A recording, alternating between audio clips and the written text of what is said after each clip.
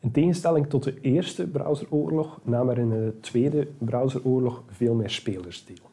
Dus laten we ze eventjes uh, overlopen in de volgende paar slides. Nu, uh, de, de, e-, de, tweede browseroorlog begint ongeveer in het jaar 2003, wanneer ook Apple beslist om uh, deel te nemen.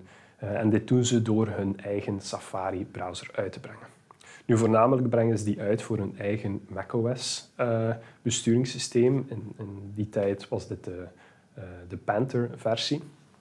Nu, ze, initieel brachten ze dit ook uit op Windows, maar eigenlijk omdat, omdat Internet Explorer in die tijd volledig dominantie had over de markt, uh, ja, hebben ze die versie niet lang meer ondersteund.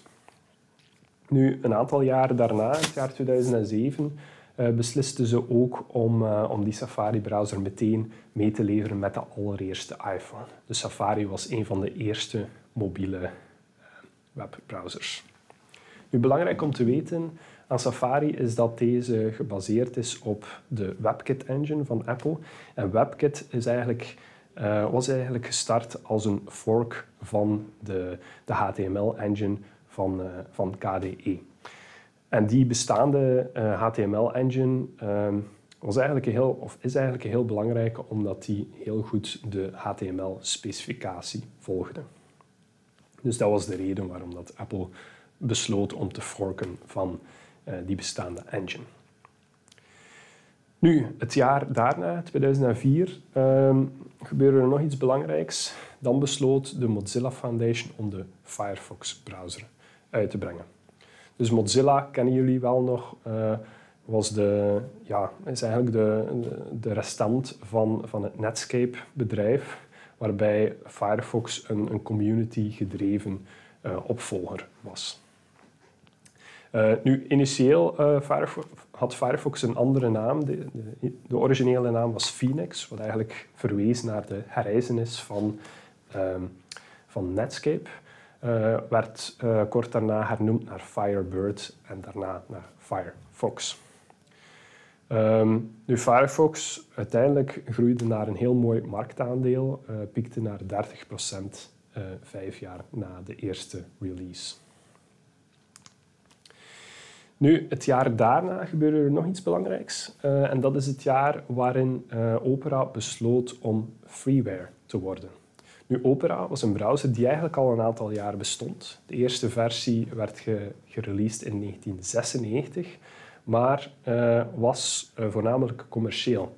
Maar, maar aangezien dat, dat er ja, allemaal nieuwe browser, browsers volledig gratis uitgebracht werden, besloot Opera Daarom om ook volledig gratis te worden. Nu, Opera is een belangrijke browser omdat Opera bekend stond uh, van zijn innovativiteit. Dus Opera was de allereerste browser die, uh, die functionaliteiten zoals browsertabs of, of mouse gestures toevoegde.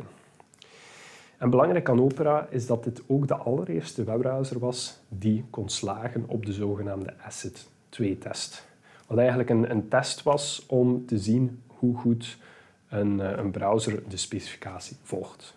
We zullen hier later nog even op terugkomen.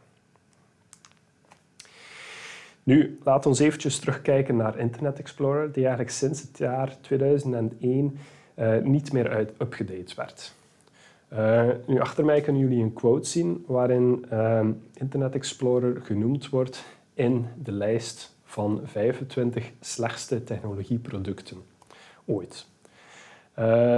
Nu, hierin wordt, wordt gesproken over Internet Explorer, die heel veel functionaliteiten bevat, maar tegelijkertijd ook uh, zeer veel uh, beveiligingsproblemen heeft. Nu, voornamelijk om die reden besliste uiteindelijk in het jaar 2006 Microsoft om versie 7 van Internet Explorer uit te brengen. Dit was vijf jaar na Internet Explorer versie 6. Nu, um, op vlak van, van specificatie en hoe goed dat, dat de browser de specificatie volgde, was versie 7 eigenlijk maar marginaal beter dan versie 6. Omdat uh, deze browser nog altijd niet in staat was om Asset 2 en zelfs Asset 3 in die tijd uh, uh, te doen slagen. Maar waar versie 7 wel veel beter in was, was het feit dat, dat deze veel veiliger was dan de voorganger.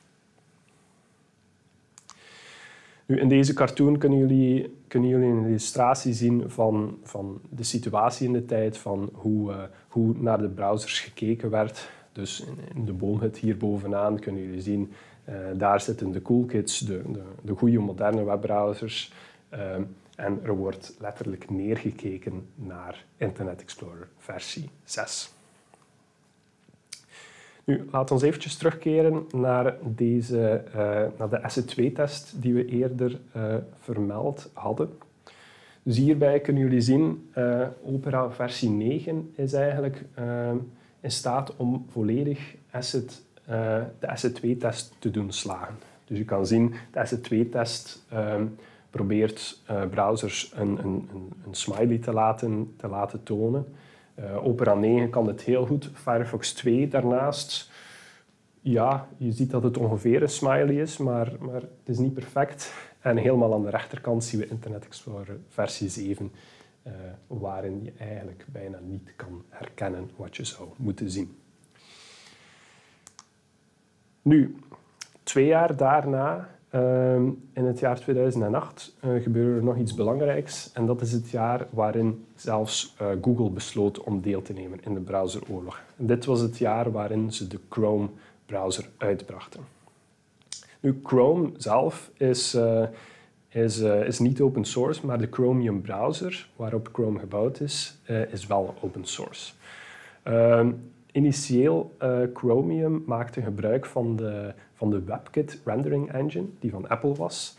Um, maar uh, Google besloot kort daarna om die te forken als de, de nieuwe Blink rendering engine.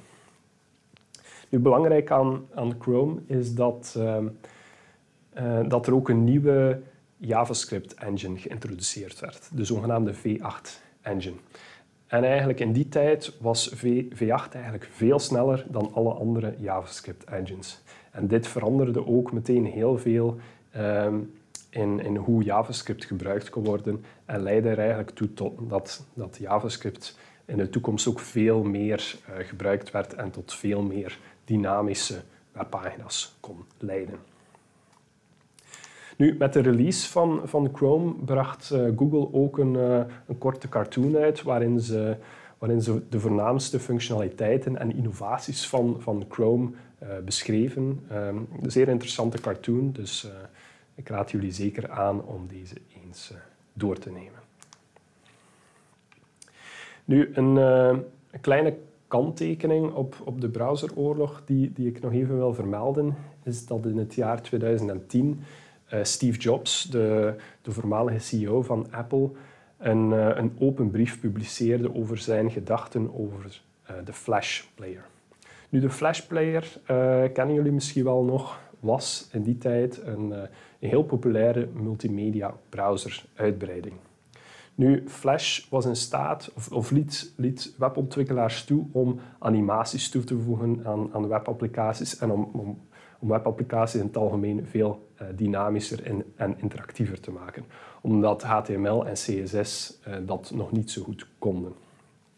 Nu, in de, in de open brief van, van Steve Jobs uh, beschreef hij de redenen waarom hij eigenlijk niet wil dat Flash ondersteund wordt op iOS, dus het mobiele besturingssysteem van Apple voor de iPhone in die tijd. Nu, hij beschrijft een aantal redenen, waaronder het feit dat Flash niet open is. Het is geen open standaard, het is eigendom van Adobe. daarnaast waren ook heel veel beveiligingsproblemen met Flash ehm, die eh, ja, die Apple niet graag eh, zag. Nu, die open brief was, was in die tijd heel controversieel, maar achteraf gezien uh, is iedereen eigenlijk wel akkoord uh, dat dit de juiste beslissing was toen. Want eigenlijk kort daarna werden HTML versie 5, uh, HTML, versie 5 en CSS versie 3 uitgebracht, die eigenlijk in staat waren om bijna alles te doen wat Flash in die tijd kon. Dus dat was ook de reden waarom dat een aantal jaar daarna um, de Flash Player gedeprecate werd. Nu, laten we eventjes terugkeren naar uh, Chrome. Uh, dus kort na de release van Chrome uh, zagen we eigenlijk heel snel een, een, een, toename in, in de marktaandeel van Chrome. Eén jaar na, na de release van Chrome, dus in het jaar 2011, zien we al dat deze marktaandeel van Firefox volledig overneemt. Ehm, het jaar daarna wordt Chrome zelfs groter dan Internet Explorer. Ehm, dus Chrome werd in die tijd al de meest uh, populaire browser, slechts twee jaar na uh, de initiële release. Het jaar 2017 uh, eh, bereikt Chrome zelfs een marktaandeel van 60% en alle andere grote browsers, waaronder Opera, Firefox en Internet Explorer, vallen onder de 5%. Nu, dat was eigenlijk ook meteen het einde van de Tweede Browseroorlog. Dus uh, Chrome was hier de duidelijke winnaar.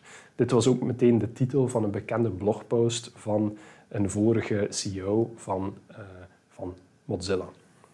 En in deze blogpost beschrijft hij eigenlijk, hij geeft toe dat Chrome de browseroorlog heeft gewonnen, wat de implicaties zijn op het web en waarom het wel of niet uh, belangrijk is.